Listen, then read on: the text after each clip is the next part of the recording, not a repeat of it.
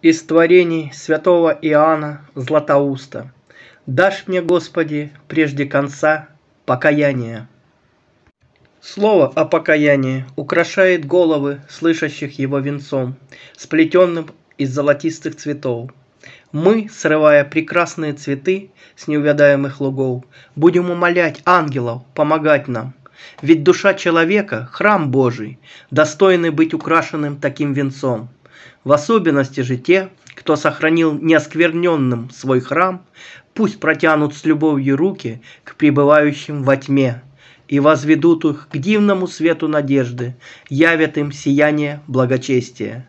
А кто необдуманно разорил страстями свой храм, не предавайтесь отчаянию, но восстановите его покаянием.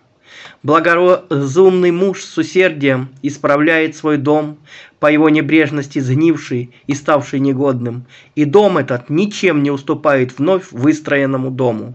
Точно так же и покаяние восстанавливает павшую душу, отдаленную от Бога, снова делает любезной Ему. Покаяние рассеивает облегчающий душу мрак и отгоняет смерть, водвигает падшего, исцеляет сокрушенного и делает здоровым израненного. Некоторые говорят, что состарившийся орел, устремившись в беспредельную высоту и окунувшись в светлейший источник, снова становится молодым. Таково и покаяние, так оно поднимает душу, преисполненную им, в высоту без предела, очищает в источнике слез ее греховную немощь и облекает новизной духа. Вот почему душе, пребывающей в покаянии, дух говорит «Обновится, как у орла, юность твоя». Великий врач наших душ, зная, что покаяние является действеннее всех добродетелей, убеждает, говоря, «Покайтесь, ибо приблизилось Царство Небесное». Матфей, глава 3, 2. Не стыдитесь исповедовать свои грехи, ведь есть стыд, который приводит к греху, и есть стыд, который составляет славу. Предайся сокрушению о своих грехах, чтобы получить спасение, потому что сказано – Говори ты, чтобы оправдаться. Грехов юности моей и преступлений моих не помяни. По милости Твоей вспомни меня, Господи. Ты согрешил? Не унывай, ведь настолько ужасно совершение греха, насколько дурно пребывание в нем. Первое имеет прощение, а последнее влечет за собой не имеющее прощения наказания.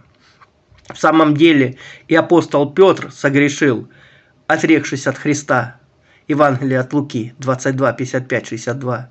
Равным образом и царь Давид, совершил прелюбодеяние и убийство, сделал грех, заслуживающий смерти.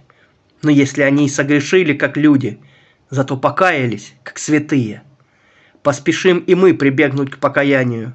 Пусть дьявол и обременил нас грехом, но зато Христос через покаяние принимает бремя греха на себя – как сказано, «Вот Агнец Божий, который берет на себя грех мира». Господь Иисус, явившись на землю, не зверх дьявола, подобно молнии. «Я видел сатану», — говорит он, — «спадшего с неба, как молнию». До его пришествия дьявол был страшен, до креста грех был нестерпим. Ныне же крест сокрушил жало греха, смерть Христа разрушила царство смерти. Поэтому все мы после воскресения Христа посрамляем гордость смерти. Смерть, где твое жало? Ад, где твоя победа? В самом деле, хотя смерть царствовала от Адама и над несогрешившими, подобно преступлению Адама, то после воскресения Господа она потеряла свое могущество. Это знают все верующие. Старцы и женщины, юноши и девы попирают змей, скорпионов и всякую силу вражию, подобно тем, которые давят в точили виноград. Мы уязвлены грехом, Исцелимся же покаянием. Посредством греха нас уязвил дьявол, посредством покаяния исцелил Христос. Первый внушил человеку грех, чтобы через него погубить человека. Господь удалил грех, чтобы освободить от него человеческую природу. Дьявол посеял грех, как плевелы. Христос серпом покаяния вырезал эти плевелы. Через грех дьявол не сводит нас в гиену. Через покаяние Христос вводит нас в Царство Небесное.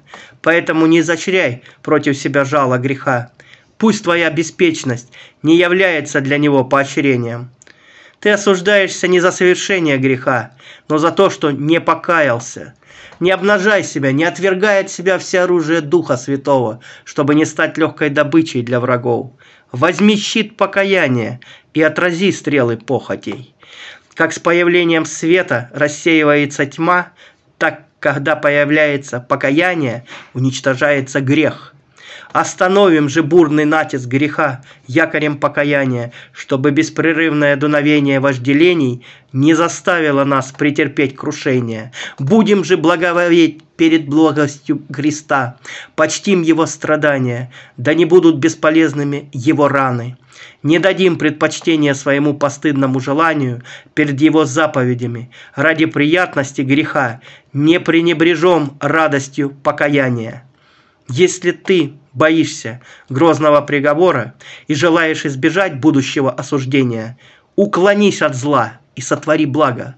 То есть оставь грех и соверши покаяние, чтобы тот, кто не хочет смерти грешников, но чтобы они обратились и были живы, ценя твое душевное усердие, даровал тебе отпущение грехов. Господь, зная немощь нашего тела, дал людям искусство врачевания и повелел земле производить пригодные для этого растения. Точно так же Он знает склонность нашей души к падению, знает и раны греха, и поэтому, как врачевство для души, дал покаяние, чтобы каждый из нас имел целительный пластырь, прикладывая который при содействии веры избежал болезни. Ты согрешил? Покайся, чтобы своей беспечностью не причинить себе неисцелимой болезни. Совершенствуй себя, подобно тому, как земледелец возделывает ниву. Вырви грех, подобно сорнякам. Уничтожь беззаконие, как тернии и бесплодное дерево. При виде греха веселятся демоны, а усматривая покаяние, радуются ангелы. На небесах более радости будет, ибо об одном грешнике кающемся. Исповедуй, человек, свои прегрешения, чтобы получить прощение. Пусть свидетелем перед нами будет святой Давид, сказавший «Исповедуюсь Господу беззаконии моем, и ты простил нечестие сердца моего». Если ты теперь исповедуешь свои грехи, то получишь прощение, так как настоящее время есть время милостей. В будущем же веке, если и будешь плакать, твой плач будет бесполезен, и ты не получишь прощения, ибо в смерти нет памятования о тебе. Ведь и богач, когда увидел, что нищета Лазаря превратилась в избыток, а его собственное богатство в крайнюю бедность, стенал, но не был помилован, плакал и скорбел, но не получил утешения, просил оказать ему милость, но не получил даже капли воды, хотя и умолял об этом, будучи полим невещественным огнем. Прибегнем же к покаянию, так как ныне время покаяния, потушим пламя греха слезами. Смотри, как бы в надежде на долготерпение Божие тебе не оставить свое сердце нераскаянным и не сделать душу непреклонной, так как это она побуждает тебя к покаянию. По упорству твоему и нераскаянному сердцу не собери себе гнев на день гнева и праведного суда от Бога, который воздаст каждому по делам его. Подумай, ведь настоящая жизнь подобна мимолетной тени.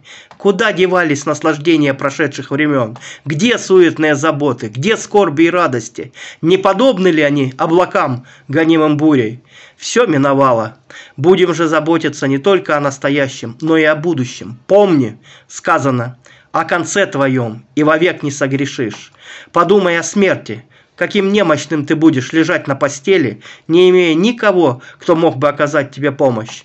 Представь стоящих вокруг тебя друзей, соседей, родственников, домочадцев, как все они в один голос седуют, обливаются слезами и остаются неутешными.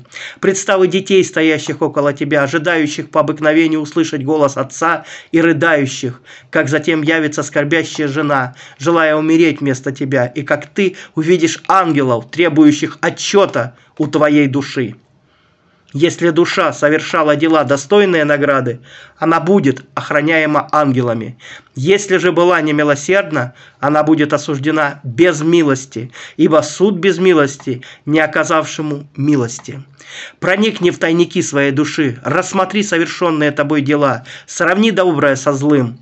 И если увидишь, что злые дела превосходят добрые, покрой их добрыми, чтобы никогда не увидеть грехов, противодействующих тебе.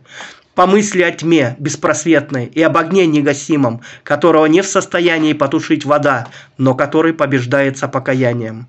Прибегнем же к покаянию, изглаживающему грехи и приводящему нас к Царству Небесному.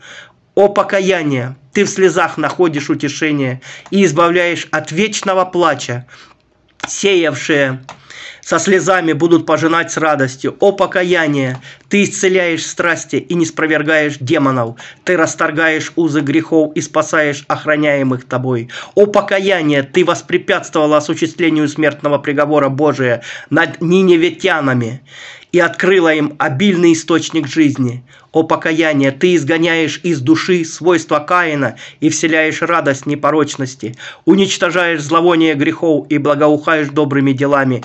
О покаяние, ты рассеиваешь и освещаешь беспросветную тьму, пасущиеся на тебе златорунные агнцы изливают пурпурные лучи Троицы. О покаяние, ты восходишь от земли на небо, приближаешь к престолу Господню и становишься собеседником Бога.